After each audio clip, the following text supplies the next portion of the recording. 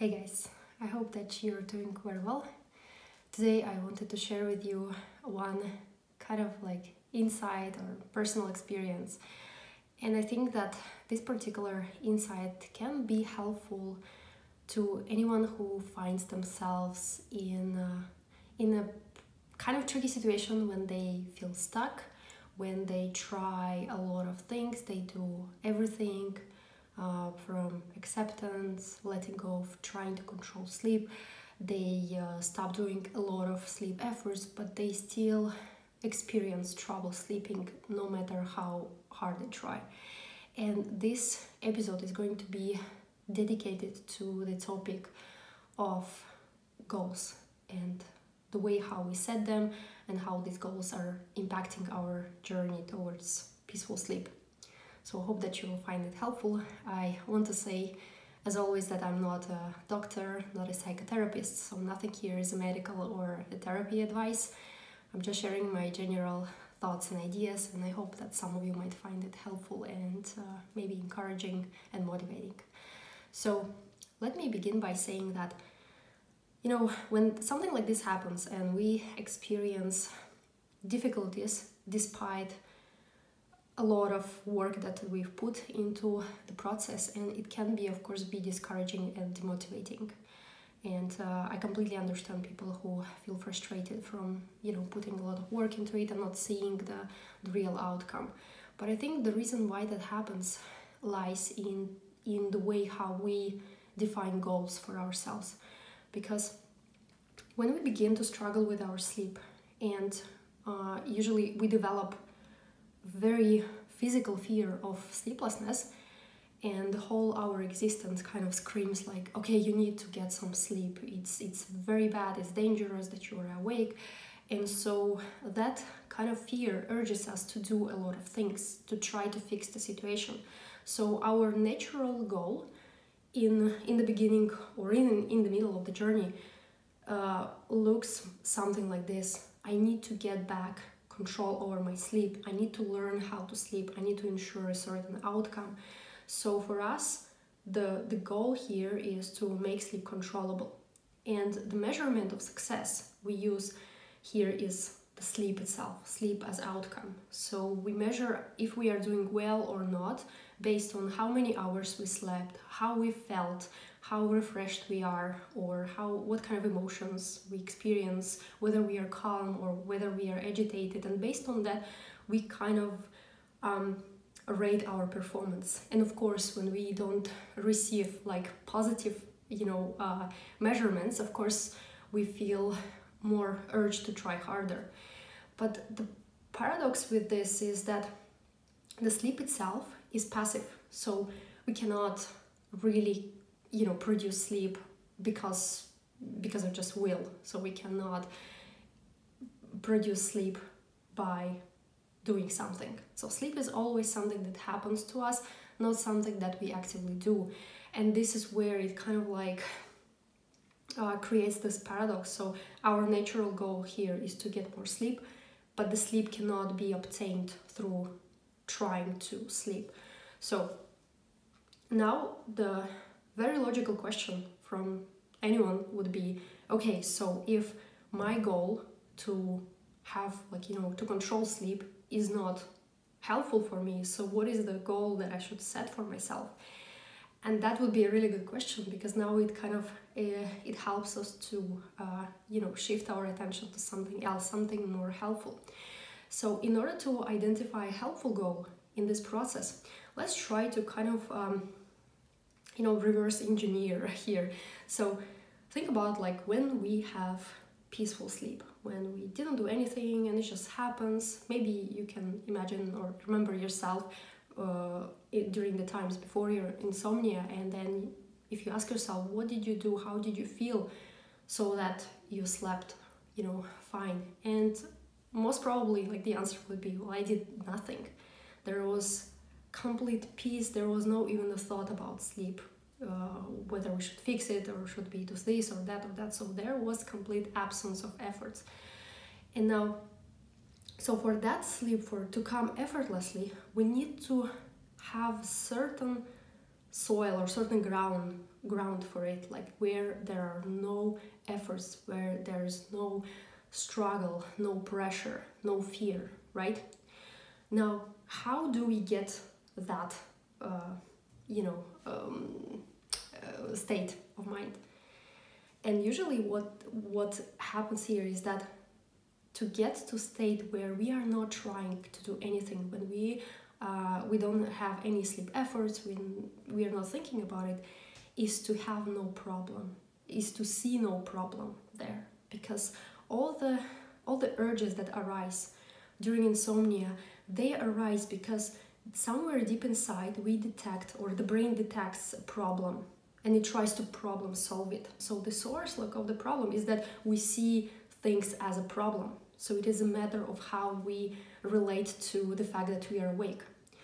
Now now it kind of like by reversing back we realize that we need to change the relationship with wakefulness instead of now when we let's say we have difficulty sleeping and we consider oh this is not okay this is not normal we need to uh, change or shift our perception towards something it's okay to be awake at night. It's i'm not in like i'm not in any danger i'm safe no matter how the night unfolds whatever emotions arise they're also safe and i'm you know in general we we are safe.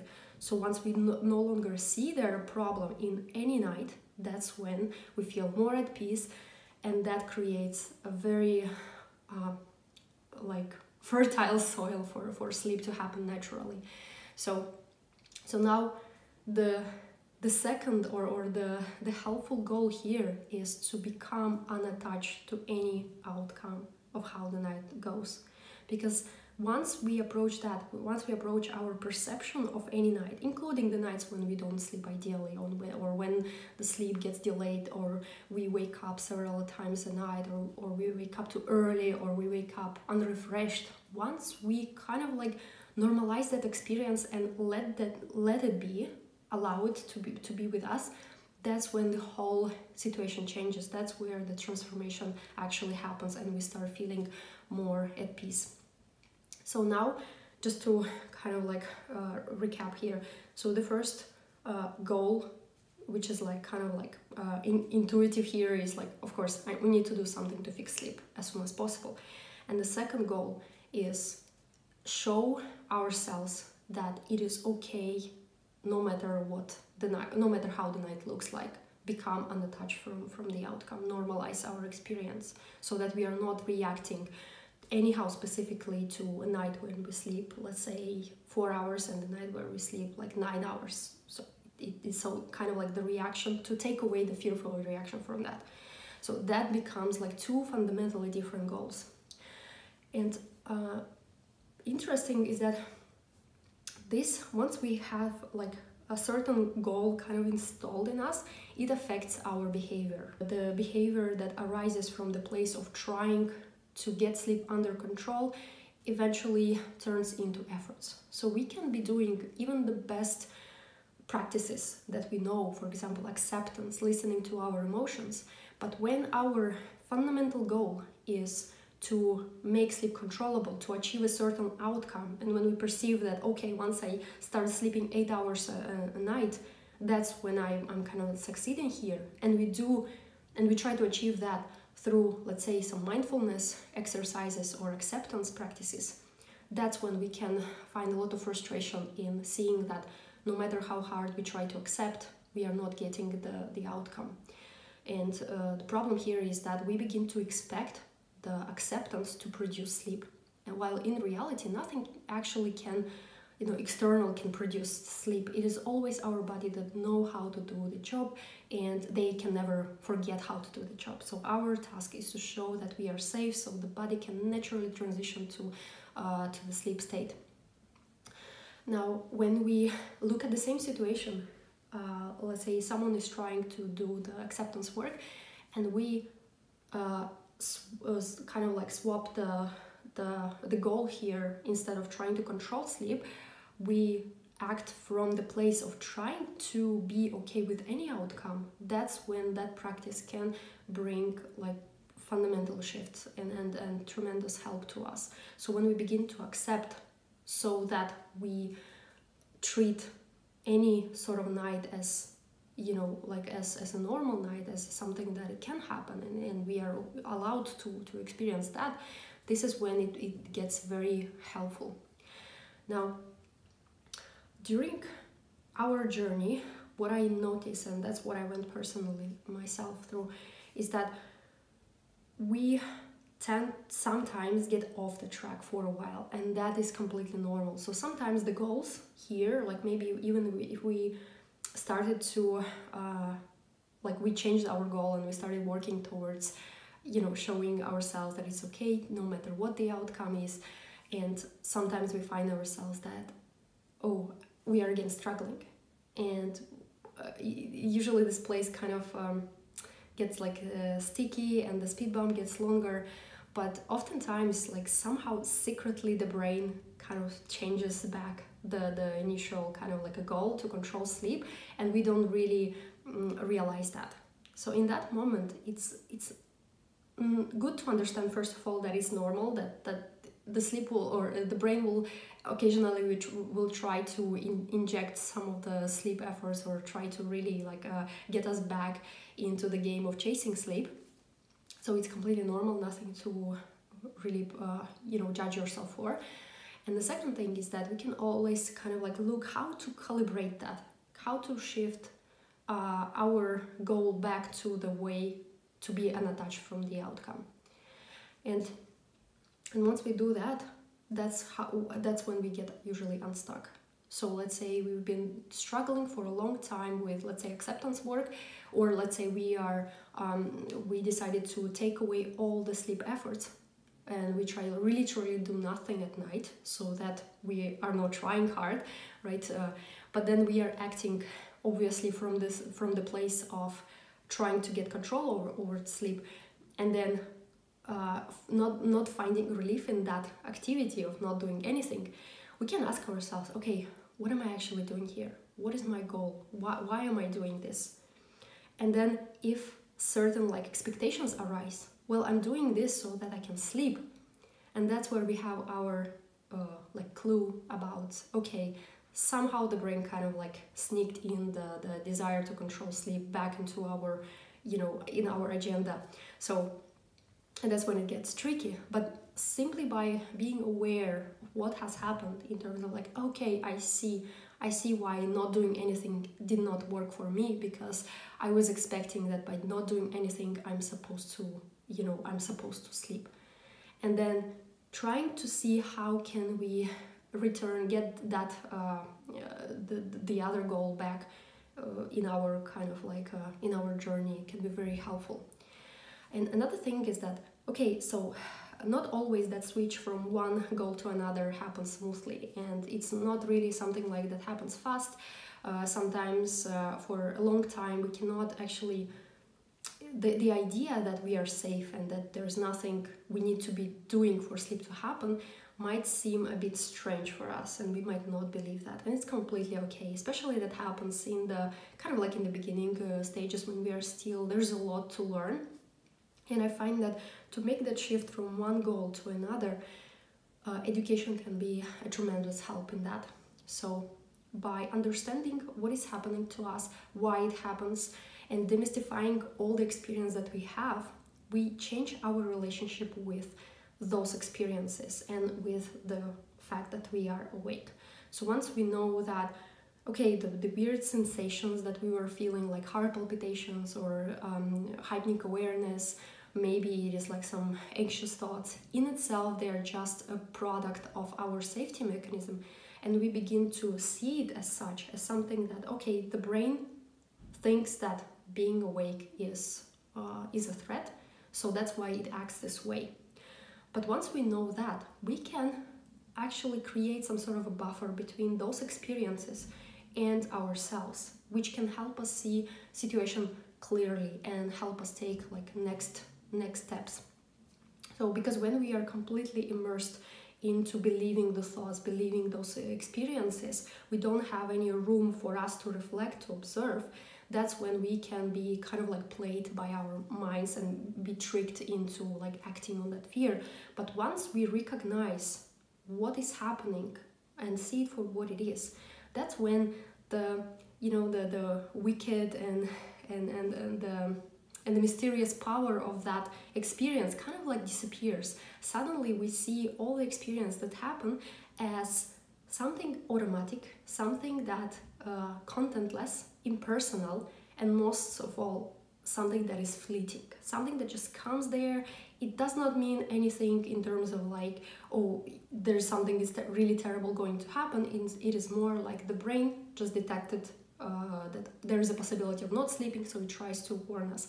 But in itself those signals are merely uh, just a just, just a signal just a messenger to tell us something.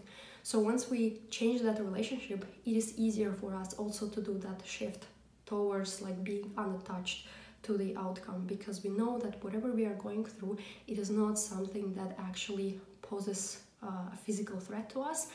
And once that perception uh, changed.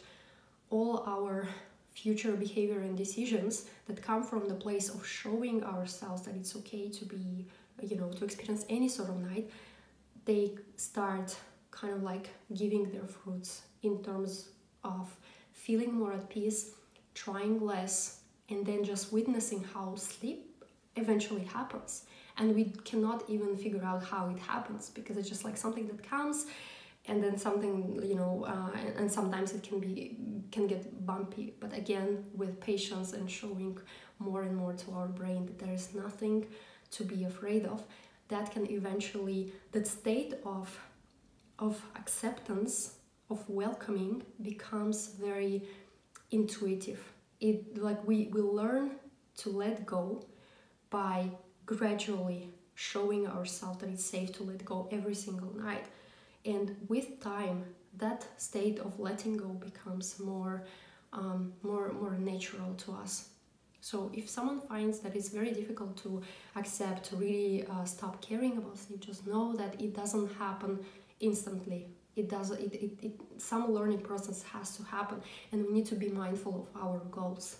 Because that's that that's can actually point us where the struggle arises when we feel stuck and we don't know where why certain things do, don't don't uh, work for us investigate the intention investigate the goal there. What is the goal that you're doing this particular thing that you're that you're doing? And if the answer is like yeah i'm, I'm actually I'm, I'm hoping that i will be sleeping then it gets tricky. But when we shift that narrative in terms of like okay I, I'm doing this because it just makes me feel good in this moment.